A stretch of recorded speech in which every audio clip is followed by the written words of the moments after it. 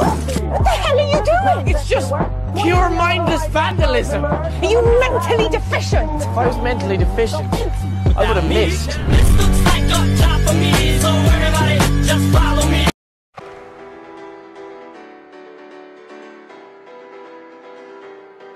As a child, you would wait and watch from far away. You always knew that you'd be the one to work while they all play.